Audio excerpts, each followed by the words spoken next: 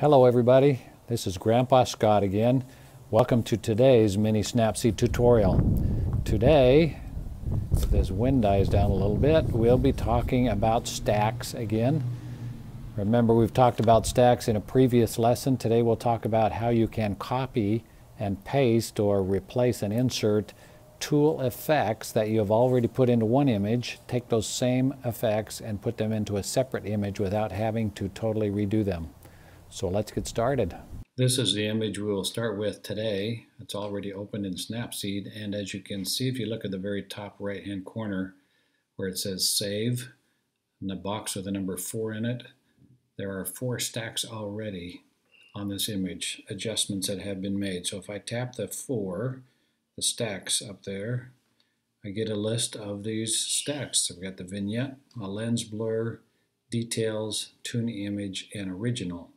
So if I touch the original, goes back to what the original image was. I went through and with tune image, converted it to this. Added details, added that, added lens blur, got that, and then finally add a little, little vignette. So those are the stacks I have. Now if I want to take these, I've got similar pictures and want to add these same effects without having to redo them individually on each picture, I can copy this stack and all these adjustments and go paste it or replace it into a new image. And how I do that is right here where we are now, go up to the very top right corner and you see the three dots, vertical dots. If I touch those, I get an option down below. I'm going to choose copy. I'll choose copy there. And now I can actually escape out of the stacks view with the arrow in the upper left corner. And I can actually go through and uh, add other items in here to this image if I want. Let's see if I add a frame. Let's do that just for fun. Okay, now I'm going to save this image. I always save a copy. And now I've got the stack saved, so I'm going to move to a new image. So if I click Open, Open from Device, and go find a new image on my camera roll, I'll come over and get this image here. Now before I paste anything onto this image, I want to crop this image. So first let's open the toolbox, go to crop, I choose square, and I want to crop this to get just the girl up here, include her feet, drag it out, put her eyes on the third mark. There you go, let's call that good. So I've cropped it. Now I want to apply all those stack adjustments from my previous photograph. So I'm going to open stacks by clicking on the box in the upper right corner that says 2, the stack box.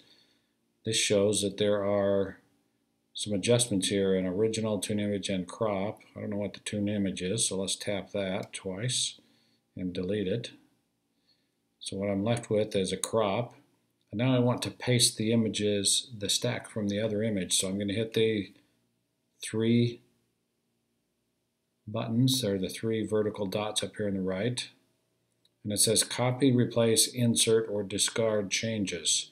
If I hit replace, it will get rid of the crop and zero out everything on this image, replace it with the stuff I copied from the previous image.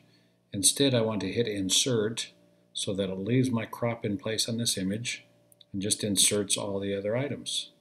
So there you go. Now you can see that it has pasted in these other items. They're not lit right now. So if I touch Tune Image, I can see what that effect brought over. I could actually just touch the very top one and see them all. Right? The vignette's there. If I turn that off, you'll see that go off. The lens blur is there. Details is there and the crop is there. So that's my original image. I touch the very top of the stack. That's the final. What you'll notice is the lens blur that I brought in from the previous image doesn't really fit this image appropriately. So let's tap the lens blur, tap it again twice, and I'm going to delete that layer from the stack by hitting the garbage can on the right.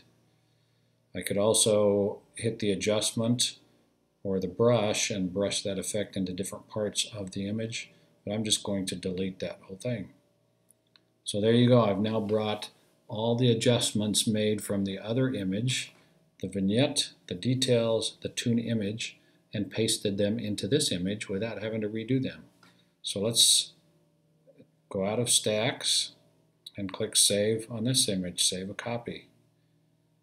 Now let's open another image, open, open from device, camera roll, and we've got another image here. Let's get this one. If I touch stacks, which is the box was zero, then sets the three dots vertical. I'm going to insert, remember all these adjustments, and boom, there they are. All the adjustments in a stack. If I hit the top button, they all come on, just like that. If I hit the original, I can also turn them on one by one. So the tune image adjustment, that's what it did to it. The details adjustment, that's the adjustment. The lens blur, ooh, that does not belong in this picture.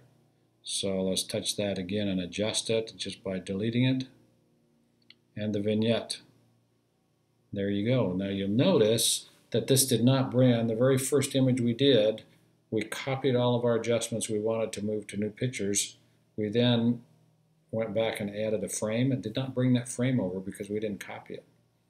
So this is a great tool to take the adjustments you spent time on in one picture copy them and paste them into additional pictures. Let's do it one more time. If we go back here, save a copy of this one, and open another image from device, camera roll, let's see a final image here. This picture, we touch the square stacks box with a zero in it. We touch the three dots, hit insert, and boom, we've got tune image, we've got details, we've got lens blur, and we've got vignette. And again, lens blur I don't want, so I tap it twice, hit the garbage can, it's gone. Turn back on the vignette. Original picture, touch vignette, you see the final adjusted picture. Hit the arrow on the left to get out of stacks, save, save a copy, and you're done. Remember, it's easy when you know how to do it. It's easier when you do it once or twice, and it's easiest if you do it many times. So play with stacks. There's a lot of power in stacks, and you can easily copy the adjustments you do and paste it into other pictures. Saves a lot of time and makes your pictures very easy to post-process. Enjoy.